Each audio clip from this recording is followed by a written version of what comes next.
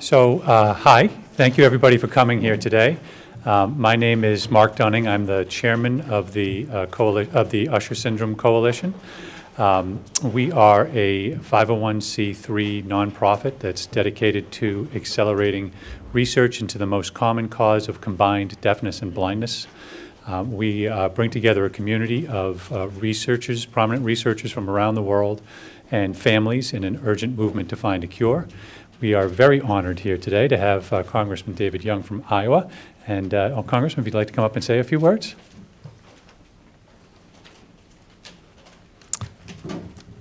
Good afternoon. How you doing? Good. Let's liven the place up a little bit, shall we? Congress doesn't have to be so dull, you know.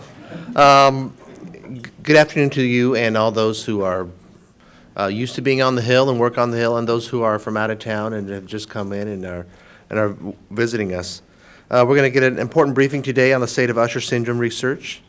But before we get started, I want to thank the Usher Syndrome Coalition for organizing this event today, and the Stephen A. Wynn Institute for Vision Research at the University of Iowa, my home state, for sponsoring this event. I was just telling uh, our featured speaker here that these issues affect, um, they affect everybody. I mean, sometimes it's your family, um, your friends, relatives, new friends that you'll be meeting, but, you know, my father has um, had glaucoma for a long time and is starting to lose his hearing. I don't know if that's just because of age or what, but you know he's had 12 surgeries in his eyes up at Mayo Clinic.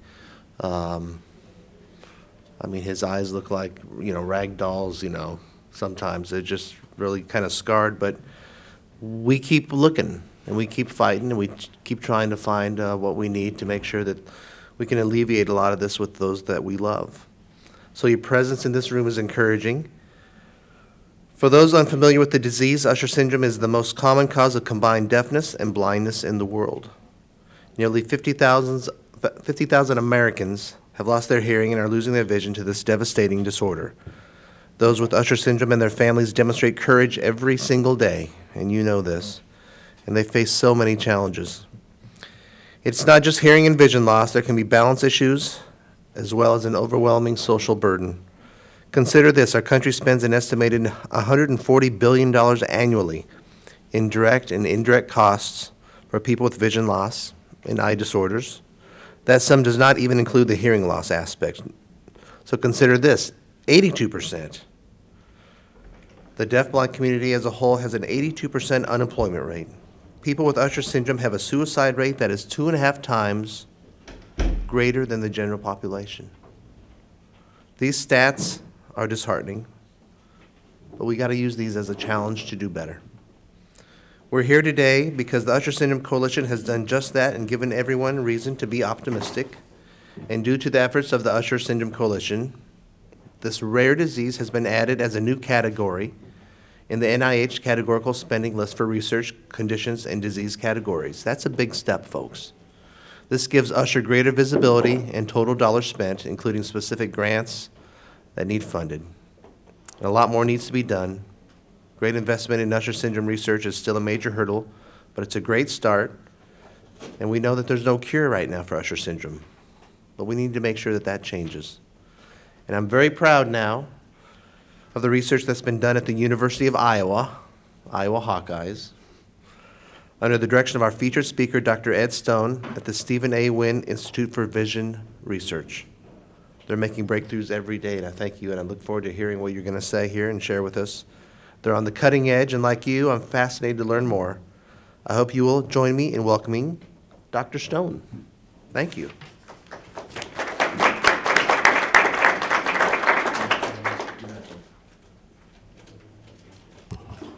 So we're going to increase the anticipation for s- meeting Dr. Stone, uh, because earlier I mentioned the uh, urgency of uh, our need to find treatments. And so to kind of demonstrate that urgency, I'm going to invite uh, my daughter, Bella Dunning, to come up here and say a few words. So come on up, Bella.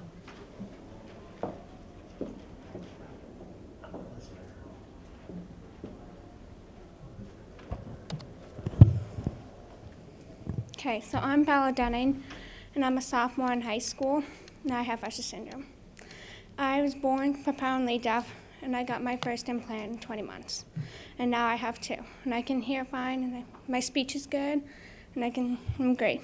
My vision, however, is slowly getting narrower and narrower, and I can't see this podium as I talk to you right now. And my balance, you probably saw me wobble up here. Not great. I can't balance on my foot for more than 20 seconds. But that doesn't mean I'm not capable. I'm a straight A student in a public school, high school, and I love animals.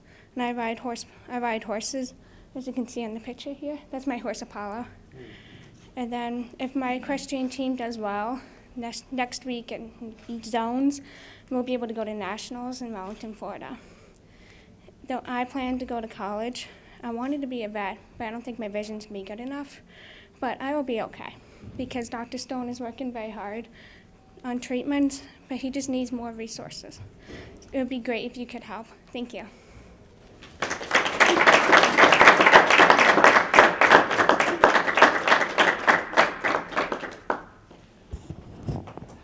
Thanks, Belle.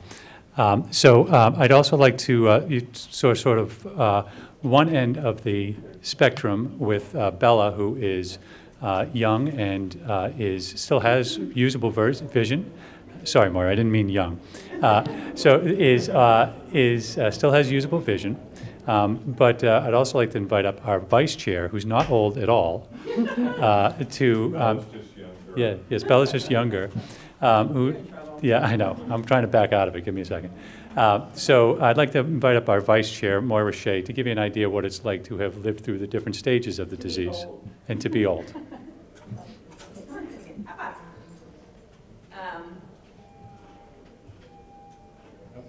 No, I got it, okay. Got, uh, if you have a laptop right there, too. I'm not using it. Hello, it's a pleasure to be here. And as usual, Mark forgot to introduce my guide dog, and his name is Finnegan. But he's more than a guide dog, he's my American Express card, because I can't leave home without him, and he's accepted everywhere. So, um, Speaking of being accepted everywhere, just almost 20 years ago, I was working up here in the Senate, and uh, I couldn't get my dog onto the Senate floor, and it sort of made national and international news in terms of standing up for my civil rights. So, you know, when you have the combination of deaf blindness, you also are faced oftentimes with discrimination.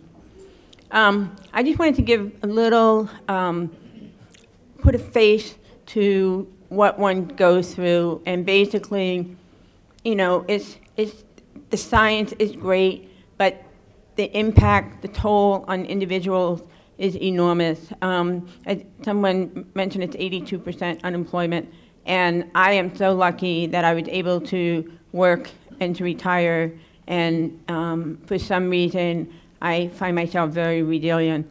But so many individuals, including myself, are, you know, faced with anxiety, stress, depression, and um, social isolation. Um, and, and we, we need to move forward on that. Um, Bella may not, Bella did not have the same experience. I don't think she had the same experience as my parents did. When you learn that you have Usher, you're told to go to school and learn Braille. Um, today, we don't say that anymore. We say there's hope and there's an excellent chance for a treatment. And the only thing that's holding us all back, like everything else, is money. Um, so I hope you will support us in appropriations, and I hope you will, um, after Dr. Stone's speech, see that we are so close, but we need, we need to move quicker. So um, I had the pleasure of going to Dr. Stone's Institute um, probably about eight, nine months ago, and I was very impressed with his facility. And what I was overwhelmed by was, you know, after 30 years of doing fundraiser, fundraising for retinitis pigmentosa ushers, that when I visited his, his office, I had skin cells taken from my arm, which are being converted into stem cells, and that will develop a new retina. And that is amazing, and I, I am just so thrilled by that. And I've met so many researchers over the years, but um, I've never been more impressed than I am by Dr. Stone. So without further ado, I introduce you to Dr. Edwin Stone.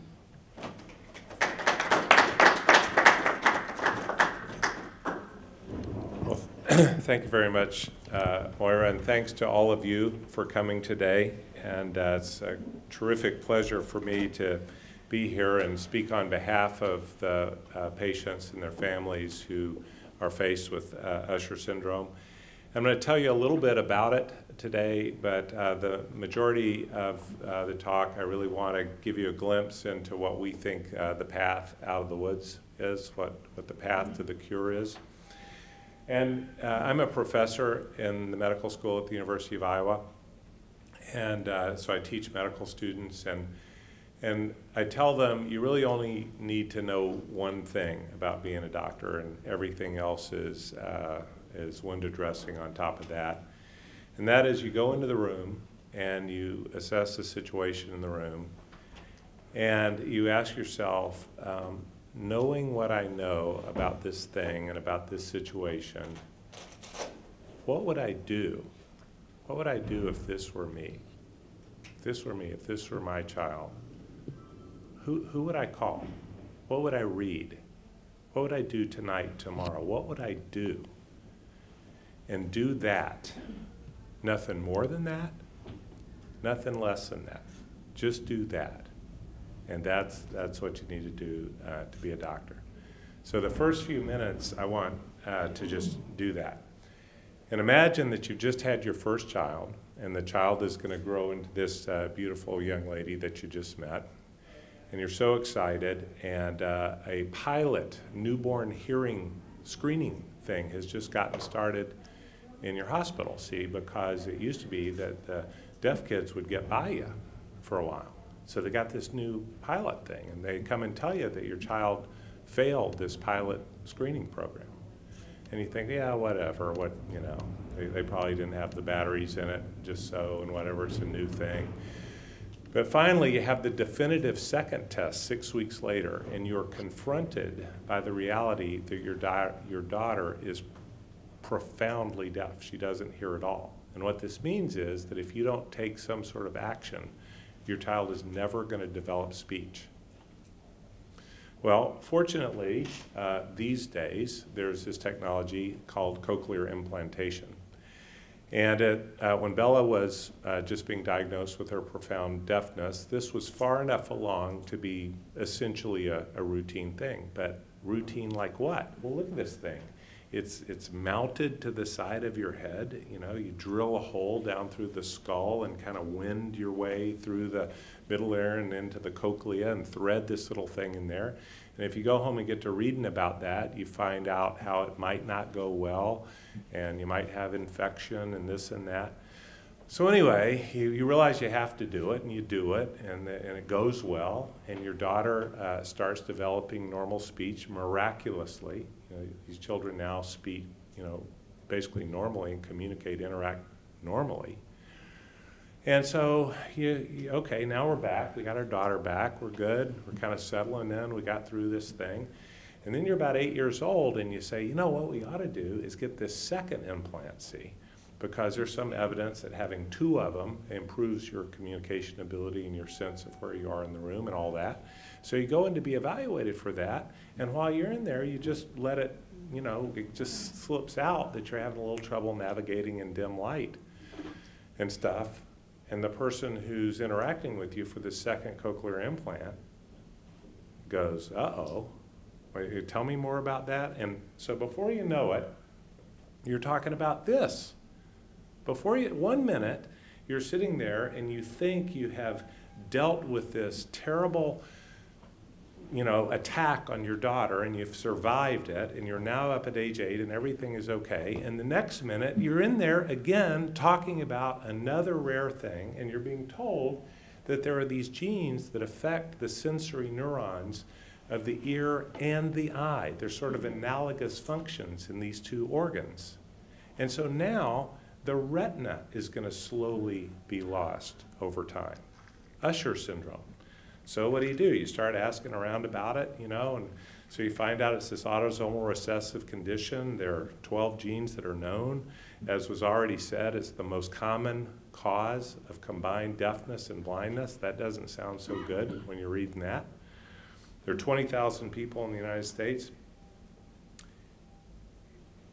we've touched on this, Bella touched on it. She's already standing up here. She's interacting with you perfectly normally. She's riding her horse. She's competitive. She's great in school. But when she was sitting here looking at her notes, she couldn't see the rest of the podium. Okay? So her field of vision is already constricted, and it's constricting more. Moira used to work up here in this building, and she used lip reading to augment her reduced hearing. Then she lost the remainder of her central vision, and she can't see any of you now. She can't lip read, and so she couldn't do the job that she'd done before because she lost that. And she touched on it. When you're faced with that impending loss of vision, you think about that every single hour of every single day of your life. So you read more about Usher syndrome. You read about these things Moira talked about, the communication barriers, educational difficulties, social isolation. All these things are real. We were out there today on the street with the guide dog. Cabs are driving by us. They don't want to fool with the guide dog.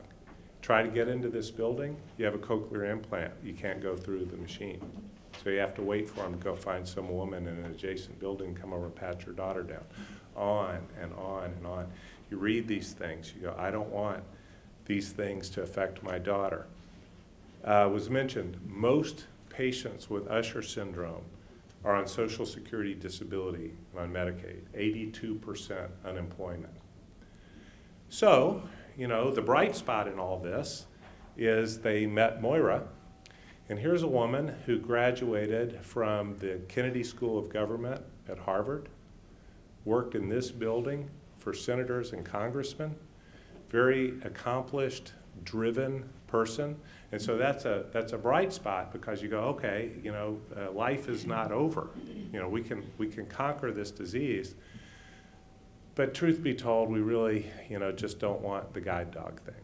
And you know what? Moira doesn't want the guide dog thing either. She wants to get her vision back. So back to this being a doctor thing, what would you want? What would you want? You go in that room and this diagnosis is now you or your daughter. What do you want? You want treatment above all. You want to protect any vision that you've got and you want to get back whatever you've lost. You want improved diagnosis and prognosis. You know, how fast is this going to change? Uh, can I tell whether one of my other children is going to be affected? Can I tell if other family members are going to be affected? So you want treatment, diagnosis, and prognosis, but above all, you want it right now. And so all through this conversation we're going to have today, you're going to hear this strain of urgency. Urgency. This is not some theoretical thing. This is something that's affecting real people uh, right now. You want it now. So if you, facing all that, in yourself or your family, came to Congress what would you ask for? What would you ask for if you're going to walk in and knock on somebody's door, go look up some folks from your state? I think what you'd ask for is this. You'd say we want increased NIH funding for projects that will lead to safe and effective therapy for this disease. And that's what we spent this morning doing, trooping all around, asking people for that. That's what our ask is, that's what our purpose is of being here. So what do we want this money for? What, what do we want money to do? The goal is actually, uh, you know, sort of distractingly simple. We want to treat everybody, everybody with Usher syndrome. And we want to be able to treat them regardless of the state of their disease. And we want to treat them for fifteen to fifty thousand dollars a piece. That's a that's a stunning number. That number. And the reason I put it up there is if you troop around to corporate entities that are also working on this disease, God love them, I hope they succeed, they're talking about a million dollars a patient. A million dollars a patient. So multiply 20,000 patients times a million dollars and see what number you come up with. Because when we trooped around the halls of power today, we didn't see that number lying around. Okay, so I, I don't know exactly where the solution is going to come in, but it's going to be something less than a million dollars a patient between now and the time we treat everybody with Usher syndrome. So one of the strategies is to appeal to philanthropists This guy on the, on the right up here is Steve Wynn. He's standing next to his longtime colleague, Steve Desi. And one of the waypoints on our journey to curing Usher syndrome is having available to us our own GMP facility. So what a GMP facility is, is it's a specialized laboratory that allows you to make gene therapy vectors and stem cell reagents in a fashion that are compatible with the Food and Drug Administration, allowing you put, to put them back into a person.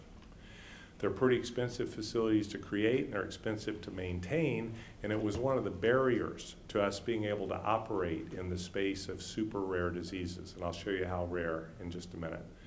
So, uh, Mr. Wynn built a GMP facility for us, and we now have the uh, opportunity to make our own gene therapy and stem cell reagents at the University of Iowa uh, inexpensively, and that's where that fifteen to fifty thousand dollar uh, number comes from.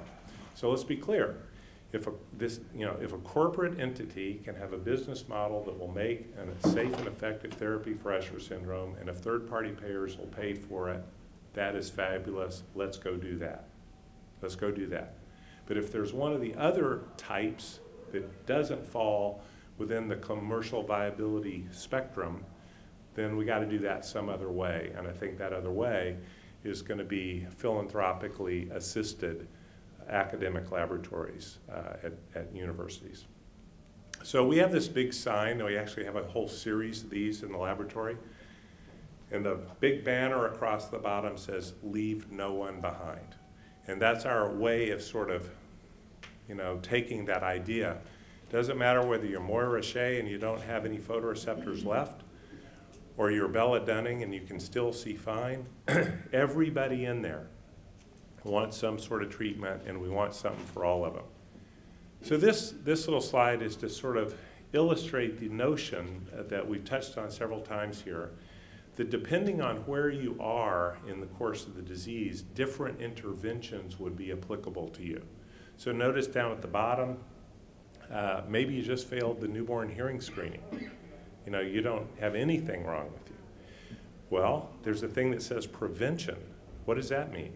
Well, your family is at 25% risk of having another affected child, the next child that you have. Okay? Uh, you go up the ladder and you see things like gene therapy and, and stem cell therapy. And if you don't have any vision, we're talking about Google cars and text to speak, speech and guide dogs and stuff like that. All of these things are good. All of these things need to be developed and fostered so that we can keep all of these people functioning society uh, as valuable members of our society. So a central thing in all of these treatments is genetic testing. And the reason for that is that there are a bunch of different subtypes of Usher syndrome, and frankly, there are a bunch of other inherited eye diseases uh, that look sort of like Usher syndrome. And many of the treatments that we want to offer our patients depend upon knowing exactly what the person has because the treatment is very mechanistically uh, driven. So I just want to sort of update you on sort of where the state of play is for uh, genetic testing of Usher syndrome nowadays. Uh, if you got on the web and looked around and called people, you'd find uh, genetic tests for Usher syndrome ranging from about $450 to more than $7,000.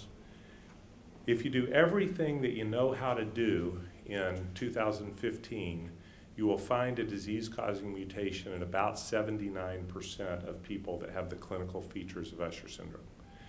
Part of that is because there's still some more rare genes to be found, and part of that is deafness is common, and so you can just have deafness and retinitis pigmentosa together accidentally every once in a while, things like that. So that number is never going to become 100%. But I find it stunning that it's almost 80% because when I started in this business almost 30 years ago, that number was zero. We couldn't molecularly diagnose a single person. But there's this sort of curve of how much it costs to find what. And there's an important number, I think, there that you can find 53%, the genotypes of 53% of Usher patients for $575. So that's just sort of where the state of play is in 2015, and I'll explain that a little more in just a minute. So the numbers I'm referring to, these statistics I'll show you in the next couple of slides, comes from the study of a very large cohort of patients, 2,200 patients with Usher syndrome gathered over the last 30 years by all the people that you see uh, up on the slide there. These are all our collaborators that have shared samples with us over the last 30 years. And I want to specifically note uh, the first one on the list, Bill Kimberling. Bill Kimberling is known to uh, most people in the Usher world. They know him personally. He's probably been in their living room talking to them about their kid or about their research program.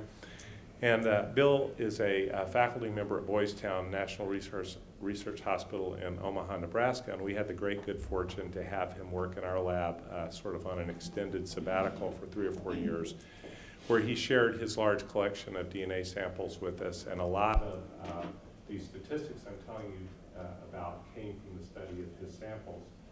And we just uh, had a, a donor give us a big gift to create uh, what's going to be known as the William Kimberling Usher Research Laboratory at the University of Iowa to permanently uh, acknowledge and, and, sort of memorialize uh, Bill's terrific contributions to the Usher community. And one of the things we're going to be able to do is study the 35 years worth of clinical data that Bill collected to understand the genotype-phenotype relationships of Usher syndrome and the other thing is we're going to be able to uh, offer genetic tests for patients uh, who can't afford genetic testing otherwise.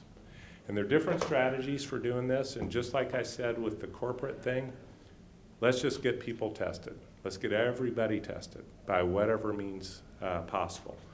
But uh, one possibility, and we did this for another disease, Leber congenital amaurosis, a few years ago, where we had philanthropists contribute money to support people who couldn't afford the testing themselves. And that's what we're doing with the Kimberling Laboratory now. So what are the data? I mentioned this. We screened these 1,765 people, and 53% of them were positive for at the $575 rate. And then the other people needed a more sophisticated test for larger genes, more in-depth sequencing. And so on the whole, the testing cost is probably a little bit under $1,500 if you did the whole thing averaged across the whole cohort. This is what the way the genes break down. You see they're very different. USH2A is far and away the most common cause of Usher syndrome. So because this is about a thousand and so findings, you can just look at those numbers and they're sort of like percents. So 60% of the people have S2A, 24.9% of the people have myosin 7A, and at the bottom, USH1G, one patient affected with USH1G out of more than a 1,000 people. So I saw a family not long ago who had a disease as rare as USH1G, and they said, so how, uh, you know, how common is this thing? I said, uh, not very common. She said, well, like, how rare is it? And I said, oh, I think there are probably less than 40 people in the United States with what you've got. So your daughter's seven, there's not another seven-year-old. And so the mom asked me, who's going to work on it then? So what's the answer to that? Who's going to work on it? Yeah, we are. And the way we are in this philanthropically funded nonprofit setting is we're going to reuse parts. We're going to reuse the vectors that we use for one gene for another gene. We're going to make these gene therapies in the basement with philanthropic mm-hmm. money and the costs of these clinical trials are going to be ridiculously low compared to a corporate model. Again, if somebody can make it work on the corporate side, go do that because there are more than 100 genes that cause human uh, photoreceptor disease and we need to treat all of them. So just to show you this business about the tiered testing one last time, let's say you got $57,500 burning a hole in your pocket and you put it in this account if you use it for the $575 tiered test, you find 53 people's genotypes that way. If you say, no, I don't want to do that, I want the more expensive test, I want to do it, I want to do the more expensive thing in everybody, well, that's fine. But with $57,500, you can only do that in a much smaller number of people. And so the total number you end up finding that way is 23 people. So again, if what we want to do is fan out across the country and find everybody, find all 20,000 people and get them tested. If money is no object, let's spend $2,000, get them all tested. If money is an object, let's spend $575 a person and get everybody up to that 53% level. But in my view, you shouldn't spend more than $2,200 uh, for usher testing, regardless of who's paying for it in 2015. So back to our leave no one behind uh, slide. The rest of the talk, I'm going to give you an overview of treatment, the treatment ideas that we have for Usher syndrome in 2015. So what about this prevention thing? So uh, this isn't for every family. This isn't for every family. But a derivative of in vitro fertilization that's been around since the 60s is that after you do the in vitro fertilization and end up with a handful of embryos in the dish, you can actually test those and see if any of them carry a genotype that's in your family. So this little movie that was shared with me from my friend Mark Hughes in Detroit, and this is a human embryo, living human embryo, held in position with the pipette on the, on the right there. And the other embryo, the other uh, pipette is coming in to remove one cell from this human embryo. And you'll see it just being vacuumed off in that little pipette. And you can take this one cell off of the embryo and go do a test on it and see whether the family's uh, disease-causing mutations are present there or not. And so we and others have used this dozens of times to allow uh, families to have their own biological children while dodging the uh, disease that's in their family. Again, it's not for every family. Some families would say, no, you know, uh, there's a 75% chance they're not going to be affected, and I hope they're not. Uh, science is coming along, you know, we're hoping they're going to be okay. Some people would adopt children, some people wouldn't have other children. There are lots of different choices that someone can make, but this is one that exists in 2015 if you know your genotype. So then the remainder of the time I'm going to talk to you today is these two things that we talked about, gene therapy and cell therapy. That's really where the the action is uh, these days. And this is sort of an overview schematic of how we're doing it these days. Every patient that comes in gets a blood sample and a skin biopsy. The blood sample we use to go off and genotype the person, try to find their, their gene. Uh, we then establish patient-derived cell lines from their skin. So what do we use these cell lines for? One thing we use them for is we can actually make retinal tissue, actual living retina, from, and I'm going to show you that in just a minute, out of a patient's skin cells. So it used to be that if we found a very unusual set of mutations in a patient's sample, something we'd never seen before, we would wonder, does this thing really harm the retina or not? And sometimes you just couldn't be sure. Now we can actually study the living retina of a patient with an unusual mutation and convince ourselves whether it causes disease or not. Another cool thing we can do is I mentioned that we're going to be making these gene therapy things in our own laboratory. Well, how do we know they work? How do we know that they're effective in restoring the protein function to the cell? How do we know they're not harmful to the cell? Well, in the old days, this would be an animal model for every one of those things. And sometimes the animal models don't accurately reproduce the disease. And so a whole field will just be stymied for a decade, wringing its hands because the mouse doesn't recapitulate the human phenotype. But now we actually have the cells from the affected individuals growing in the laboratory, and we can put the, the proposed gene therapy into the actual human cells and show that we restore the existence of the protein, in some cases the function. On the other side, for people like Moira who've lost their photoreceptor cells, we can actually differentiate these cells into retinal precursor cells, just like were present in the developing human retina, and transplant these into the retina to restore function. And I'll show you that in just a minute. So putting all this stuff together, on one arm of this schematic, you have people like Moira who've lost their photoreceptors, need them back. That's the stem cell transplantation side. And on the other side, we need to make gene therapies for every one of these subtypes of disease as rapidly as possible so that we can arrest the disease with gene therapy. And there'll be some people, some people in between who may need both things. They may need some gene therapy to stop the disease they have now, but have already lost enough that when this gets really far along, we want to give them some, some cells back. So here's our gene therapy poster child for the day one more time. And for those of you who haven't seen human gene therapy before, this is my partner, Steve Russell, uh, at the University of Iowa. This is a historical photo on the day of the first gene therapy at the University of Iowa. This was RPE 65. But here you see a 41 gauge cannula injecting a gene therapy construct under the retina of a four-year-old child, just to show you what that looks like. Every fellowship-trained vitreoretinal surgeon in the country could do this type of surgery. So if you had the, the stuff available, um, you know, you could really do this very, very widely once it was going. So the other poster child, Moira, you and Finnegan are back on the screen here. Here's our lady who needs the uh, stem cells back. Let me show you the concept behind this. On the right side there of the, of the screen, you see a normal human retina and a little schematic down below showing that there are three neurons between a photon hitting the retina and the brain. So there are photoreceptors on the bottom. They talk to bipolar cells. They talk to ganglion cells. The ganglion cells talk to the brain. In retinitis pigmentosa, that bottom layer, the photoreceptor cells, are the layers, are the cells that are lost. But the inner two layers, the ones that talk to the brain, they persist for decades, even after someone is completely blind.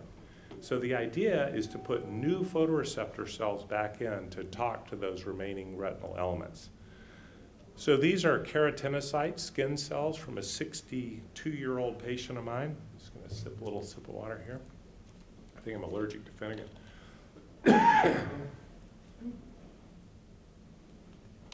He says, yeah, blame it on the dog. Everybody blames the dog. So there uh, you see a 62-year-old uh, patient's keratinocytes.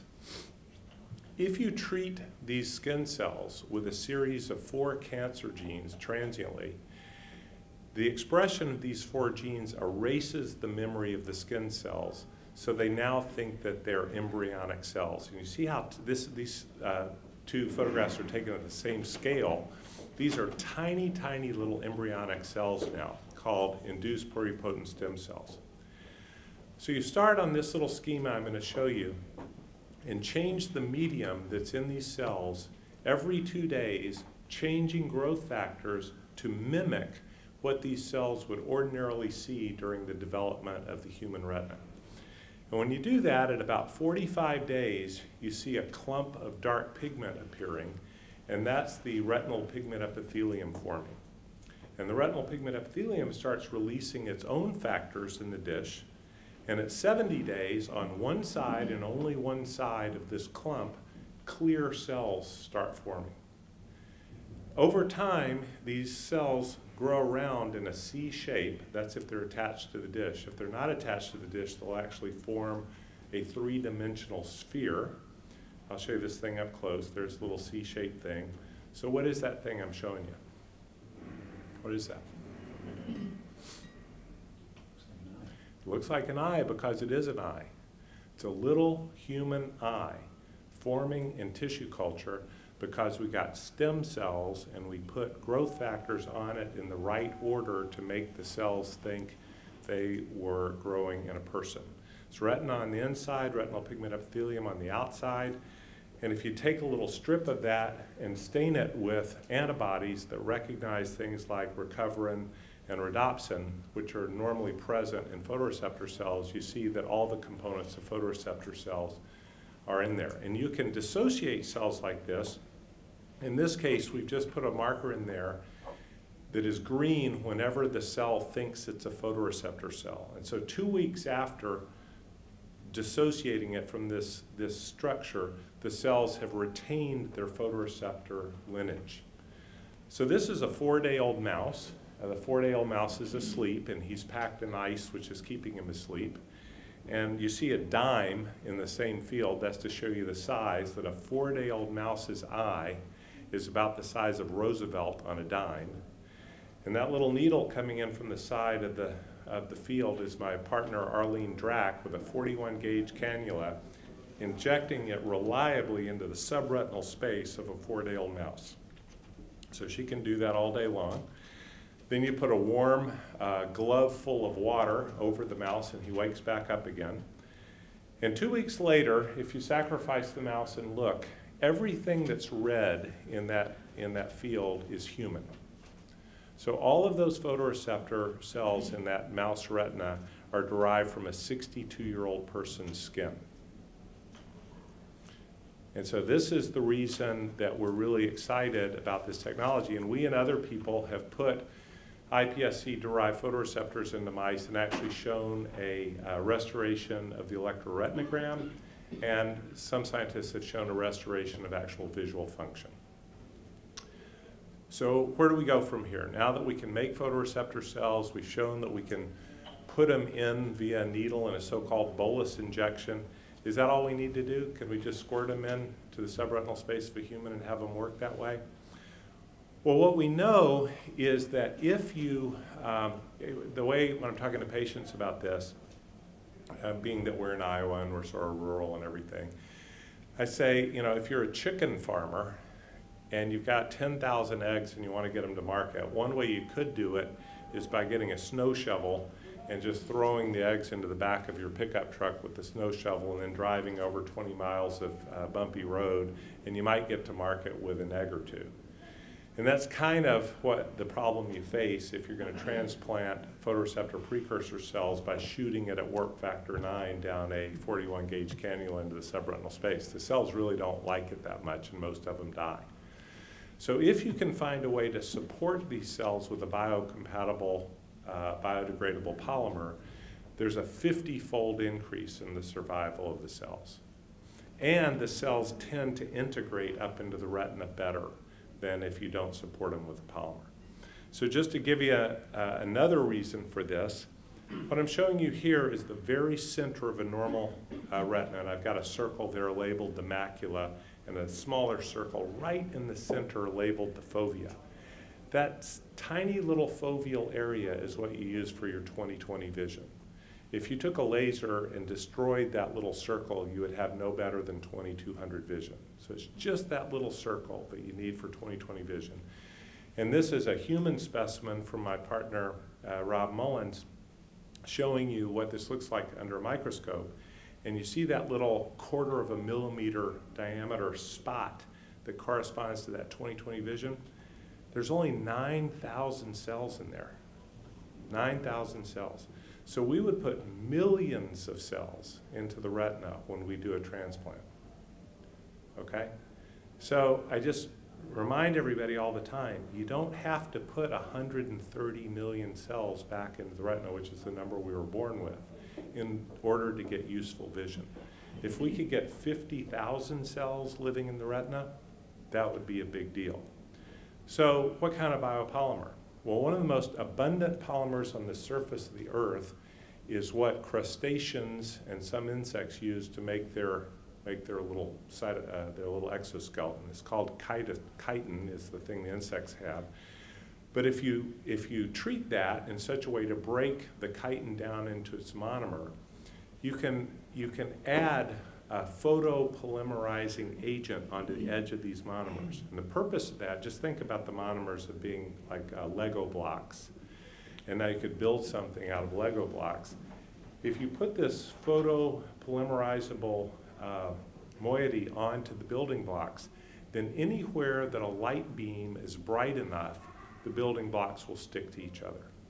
And what that allows is the use of a 3D printer to make structures out of this biocompatible, biodegradable polymer. And this is one such uh, device. And the, it's based on what's called two-photon technology, in which you have a couple of lasers going into a clear bath. And wherever the laser beams cross, the light is bright enough that it will exceed threshold and cause the polymer to be polymerized there. And so this next thing is the picture that shows you the kind of structure that you can build with one of these 3D printers. And the, the interspace in between the little bars of this Tinker Toy device are the size of individual human cells. So the idea is to make biocompatible frameworks and then put the human cells into them to support them for transplantation. And then over time, that polymer will dissolve and be replaced by the normal extracellular matrix. And just to show you a little bit further uh, evolution of this idea, on the, see which side would be, the left side of the slide uh, to you, you would have the photoreceptor precursors, and you're going to make a retina-like uh, layer with the photoreceptors in it. And then on the other side, you would make a support layer, the retinal pigment epithelium, and then put these two things together to make a multi-layer living transplant. And again, this would be made from the cells of the patient that you intend to treat so that they would be a perfect immunologic match. And so the patient's immune system would think that these cells belong to them. And this next thing is sort of an artist's rendition. This is just me drawing with uh, Photoshop, you know, not really a real thing. This is real. This is a patient with retinitis pigmentosa. But this is just to sort of give you the idea that if you made these two little semicircular discs of living retinal tissue made from the person, you could sort of roll them up and put them through a small retinotomy in the retina and unroll them under the retina and then basically cover the entire macula with living photoreceptor cells. Or you could make long strips of living tissue and put them in from retinotomies out in the periphery and guide them uh, in toward the center with the retina detached and then uh, do an air fluid exchange to put the retina back on. So the next steps in our mind are to go ahead and put some of these cells into people. Uh, of course, the people we're going to put them in are completely blind. Why do we want to put cells into completely blind people? Two reasons. Do no harm. We don't want to endanger any vision uh, from somebody uh, that somebody has now with an unproven technology. But secondly, it'll be easier to tell whether you've got any sort of uh, response if you don't have any light perception at all, and then you get restoration of, uh, of light perception. Initially, we'll just put the bolus injections under the retina, just like we did in the mice, just to show that the cells are, are safe and tolerated by the body, and then proceed with uh, devising the polymer strips that I told you about. So in summary, I've shown you now that, you know, 2015, we can find the genes for almost 80% of people walking in the door. I think we should fan out across the United States and find all these people. Reverse that negative message that Moira said. There are a bunch of people out there that were told go home and go blind. Go home, there's nothing we can do. They're out there still. They don't even know they have these diseases. Nobody's talking to them about any of this stuff. We need to go find all of them and genotype them. And uh, then we need to get going with viral mediated gene therapy for the early disease and cell mediated therapy for the late disease. And just not wanting to leave you without putting the ask up one more time for anybody in this room that knows anybody, who knows anybody, who knows anybody, who could help us uh, bust some money loose for this effort, we would really, really appreciate it. So thank you guys for coming.